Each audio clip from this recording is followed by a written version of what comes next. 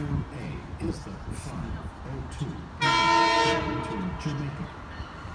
Please stand behind the yellow line and step over the gap when boarding.